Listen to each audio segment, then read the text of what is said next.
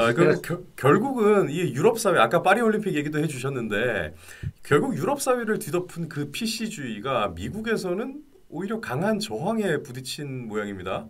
어, 선거 과정에서 트럼프는 미국 사회가 지향해야 할 정체성에 대해서 굉장히 명확한 규정을 한 것으로 알고 있습니다. 어, 관련 아젠다도 다 선점을 한 걸로 알고 있는데요.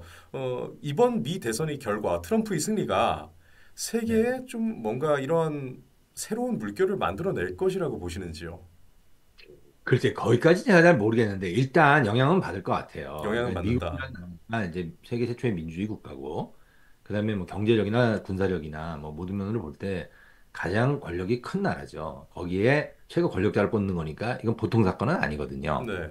이거 그게 이제 가장 민주적인 방식으로 이루어지는 거죠. 전통에 따라서. 그랬는데 이 사람들이 어, 전과 다르게 아주 분명하게 어떤 그, 그 PC 정치에 대한 반감을 표현을 했어요. 분명하게. 네. 그래가지고 보면은 그게 이제 이 사람들이 소수자를 보호한다 그러면서 자기네가 들고 왔던 구호들이 소수자로부터 외면을 당하는 꼴이 나버렸죠. 그러니까 이제 옛날에 4년 전이나 6년 전에 비할, 아, 8년 전에 비할 때 라티노들이라든지 뭐 그 흑인들이 오히려 공화당을 더 많이 찍는 그런 사태가 발생을 했으니까 그래서 이제 그건 제가 보기엔 어느 사회나 마찬가지인데요. 그 유럽에서도 보면은 뭐 영국도 그렇고 독일도 그렇고 어떤 보수주의 운동 같은 게 일어나죠.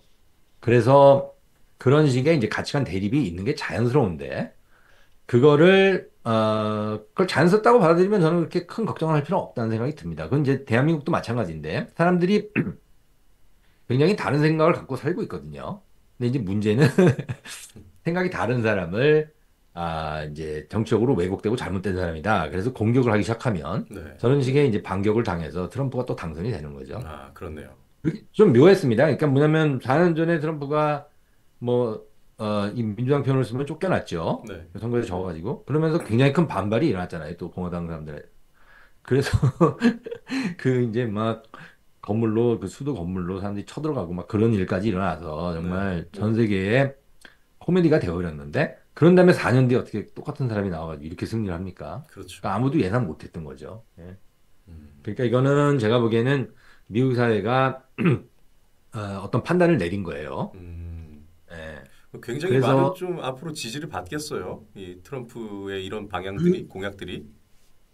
그러니까 이제 기본적으로 제가 보기에는 이런 것 같아요. 그러니까 미국이 아, 미국 사람들이 가지고 있는 피해 의식인데 어떻게 보면은 우리가 미국이라는 나라를 좀 생각해 볼 필요가 있습니다. 세계 어떤 나라랑도 차별되는 좀 독특한 나라죠. 왜냐하면 2차 대전 이후에 명실공히 세계 경찰 노릇을 했거든요. 예. 그 2차 대전 이후에 지금 미군 부대가 퍼져나가 있는 나라들 대한민국이 또 대표적인 사례인데 가장 큰 규모의 미군들이 지금 일본, 독일, 그다음에 한국이잖아요. 네. 근데 한국에 지금 2만 4천 명 살고 있는데 주둔하고 있죠. 근데 미군 부대가 굉장히 많습니다. 저는 이제 미군 부대를 제가 카투사로 병영 생활을 했기 때문에 잘 아는데 음, 네. 미군 부대 들어가 보면은 어 뭐 부천에도 있고 인천에도 있고 서울에도 있고 그때 용산 그 아주 핵심 그 노른자리 땅에 있었고 그리고 평택은 말할 것도 없고 춘천, 원주 다 있거든요. 예. 그리고 한 대구까지 다 있고 제주도까지 있습니다. 그렇게 이제 부대가 전국을 거의 모든 지역에 다 미군 부대가 배치돼 있을 정도로 많은데 그게 다 왜 그렇게 생겨났겠습니까? 2차 대전 때 미국이 전쟁에 개입을 안 하고 가만히 있었는데 진주만 폭격이 일어났죠. 예. 그때부터 들어가 가지고 미국이 독일을 어 그러니까 이제 나치로부터 해방을 시킬 때 200만이 주둔하고 있었습니다. 독일에만. 네. 그리고 나서 5년 만에 거의 다 빠져나왔어요. 한 예. 7만 5천. 한국에서는 한 500명 남겨놓고 전부 다 빠져나갔죠. 음. 그랬는데 이제 한국 사람들만 모르는 건데 북한이 아 이제 스탈린의 지원을 받아가지고 그 모택동과의 언약 하에 남침을 했죠. 네. 그러니까 16개국이 참전을 하면서 미국이 아, 이 상태로 그냥 내버려두면 이 공산화의 도미노가 일어나겠구나. 그래서 그때부터 아주 외교 정책을 바뀌어가지고 본격적으로 전 세계에 그대를 주둔하기 시작한 겁니다. 네, 그래서 지금 140 여 개국에 나가 있어요, 미군들이. 네. 그런 나라인데 미국 국민들 입장에서 보면은 이게 어떻게 보이는 거냐면 우리가 세계를 위해서 이렇게 큰 기여를 하고 그게 전부 다 우리의 텍스머니로 만들어진 군사비인데 우리가 그런 정도로 기여를 했는데 세계에서 전혀 우리를 고마워하지도 않고 오히려 반비만 저렇게 퍼져나간다면 그거 왜 하느냐? 그냥 들어오겠다. 예. 예, 우리 입장에서 보면은 이제 트럼프가 굉장히 어뭐 협박적으로 나오는 거죠. 50억 불을 더 내라. 50억도 부족하다. 100억 달러 내라. 뭐, 한국은 머니머신이다. 돈을 적게 많이 버는데 우리가 왜 돼야 되냐? 그러면 우리는 기분 나쁘죠. 근데 미국 사람들은 기분 좋아요. 음. 그러니까 왜냐면 자국 자기네가 피부- 든든할 것 같아요. 피부로 느끼는 게 한국이 너무나 잘 사는 나라가 돼버렸거든요. 네.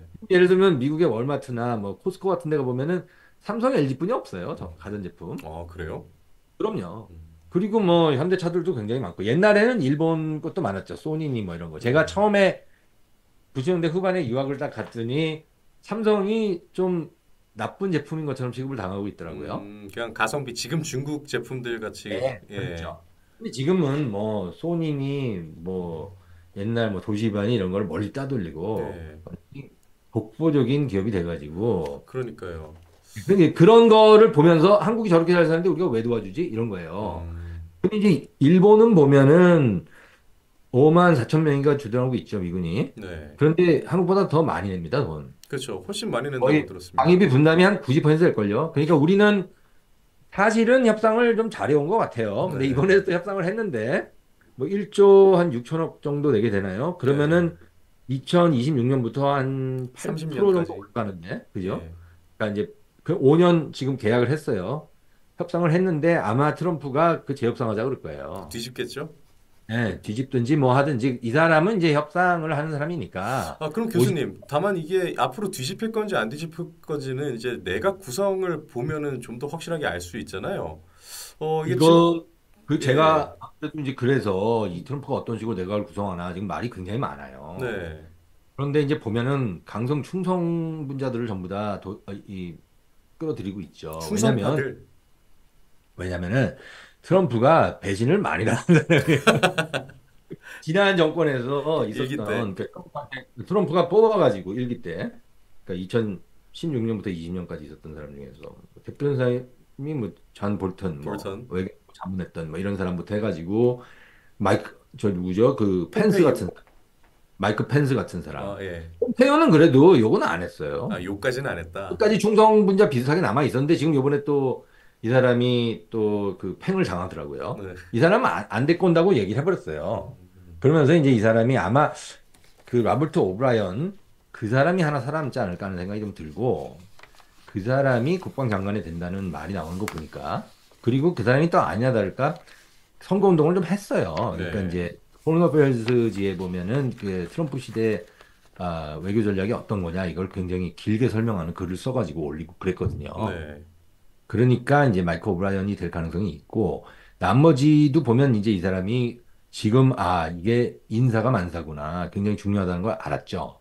그러니까 지금 이제 벌써 충성파들을 앉히기 시작하는 거죠. 그리고 그 그 누구죠? 그 수지 와이즈. 수, 수지 수지 와일즈요. 예. 수지 와일즈 같은 사람은 사실은 백그라운드에 있었던 사람입니다. 전면으로 자- 등- 등장하지 않았어요. 그 사람 요즘 유명하던데 어떤 사람인가요? 저도 아, 잘 몰랐어요. 네. 가지고 이번에 아니 이 사람을 갖다가 그 백악관 그 비서실장입니까? 그 chief of staff라고 하는 거 그거 굉장히 중요한 권력이거든요. 네. 근데 그 전에 그 백악관 chief of staff로 있던 사람 누구죠? 그 사람이 또 나가가지고 트럼프 욕 엄청나게 했거든요. 음. 어, 예? 그러니까 이제 이 트럼프는 그 몇몇 바꿨어요. 일기 때. 그런데 이제 그 중에서 자기를 그렇게 노골적으로 배신하는 사람이 있으니까 도저히 못 믿겠다는 거죠.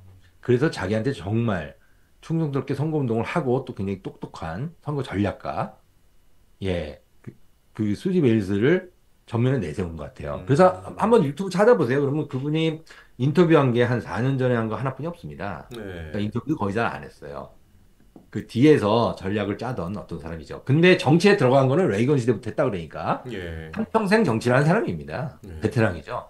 지금 67세인데. 음. 근데 이제 그런 분을 갖다가 전면 아- 앞에 내세우고 그다음에 또 이제 국경 수비대 그 이제 국경 그 그 볼더 짜르라고 하는 거죠. 그러니까 국경의 황제. 그 사람을 그 누구죠? 그 굉장히 유명한 사람인데 그 굉장히 강성 인물. 그 사람을 앉히기로 했죠. 아, 그 사람 이름이 뭐였더라? 하여튼 그 사람을 그 사람이 아 여기 있네요. 호만. 탐 호만이에요. 예. 근데 이, 이 탐 호만이 하는 인터뷰를 들어보면 일단 저는 이제 제가 미국 무대에서 봤던 여러 충성스러운 애국심 많은 군인들을 떠올리게 하더라고요. 예. 나는 나라를 위해서 30년 동안 일했다. 음. 그리고 이제 거기서 의회에서 질문 공세를 받는데 그러면은 가족을 분리시켜가지고 어 애는 미국에 태어나서 American citizen인데 그럼 그 부모랑 떨어뜨리려고 하느냐 그러니까 외국 자기 이제 본국으로 불법 이민자 보낸다 그러니까 그때 이 사람이 뭐라 그러냐면 애랑 같이 부모가 가야 된다 음. 미국 시민이 아니다 어, 가족이 더 중요한 거니까 같이 너네 나라로 가야 된다 이런 식으로까지 얘기할 정도로 강성이에요 그러니까 이제 미, 요번에 선거에서 네. 아, 카멜라 해리스가 가장 난감했던 게 바로 그런 거죠. 너네 그, 그, 불법 이민자들이 들어와가지고 범죄율이 막 올라갔는데, 그리고 네. 실제 끔찍한 사건들이 몇 개 있었거든요. 그러니까 이제 그 해리스한테 그런 끔찍한 사건을 대면서 그 가족에 대해서 할 말이 있느냐? 막 이런 식으로 막 질문 공세를 했죠. 음. 거의 해리스가 울 뻔했어요. 어. 너무 그 질문 공세를 받다가, 예. 당황돼서 그래서 제가 좀 안쓰러울 정도로 보는 사람이 이제 그 정도로 이제 몰아치면서 해리스가 이민 정책에서는 손을 들었어요. 음. 그래가지고 이 이번 선거에서 아 해리스가 계속 끌려다녔습니다. 아 끌려다녔죠. 그러니까 뭐냐면 지금 물가가 올라가지고 한 6% 올랐다 그러나요? 그게 이제 그 지미 카터 시대, 1970년대 말 이후로 가장 많이 오른 거라고 그러더라고요. 대통령 임기 내에. 예. 사람들이 당장 기름값이 너무 올라가니까 아니 이거 환경운동 하는 사람들이 너무 너무 그 강성 기준을 가지고 이런 그 우리가 가지고 있는 석유 자원을 못 쓰게 해가지고 올라간 거 아니냐 막 이래가지고 사람들이 불만이 고조됐거든요. 예. 근데 이제 실제로 그 버니 샌더스가 하는 말이 미국에 있는 6천만 어, 시민들이 영어 표현으로 paycheck to paycheck으로 살아간다. 그게 무슨 말이냐면 월급 받아서 한 달 떼우고 그 다음 월급 받아서 또 한 달 떼우고 저축 하나도 없이 아. 우리말 표현에는 아마 하루 벌어서 하루 산다 뭐 이런 아니면 뭐 월급이 통장을 스친다 뭐. 아 그런 아, 그런 게 있네요. 아, 그것도 재밌는 표현이네요. 네. 그러니까 그런 그런 상태에 있는데 그러니까 이제 해리스가 사실은 환경 규제를 굉장히 옹호하는 사람인데 네. 갑자기 그 이제 우리 그 셰일가스 할 때 그 프래킹이라 그러죠. 그렇게 석유 파는 기술 중에 하나인데 네. 그걸 이제 그 화석 연료를 쓰지 말자는 사람들은 절대로 하면 안 된다고 얘기하는 거거든요. 음. 근데 해리스가 거기서도 그냥 트럼프 쪽으로 가버렸어요. 음. 그러니까 계속 모든 주요 이슈들을 트럼프가 선전해가지고 끌고 가는 게 돼버렸고 해리스는 끌려가면서 나도 이렇게 한다니까 나도 이렇게 한다니까. 네, 그, 그래서 진 거죠. 아, 어, 왠지 그 우리나라 정치 상황과도 크게 다르지 않아서 질 수밖에 없었던 것 같네요. 네. 무슨 말씀인지 아시죠? 아니, 잘 모르겠습니다.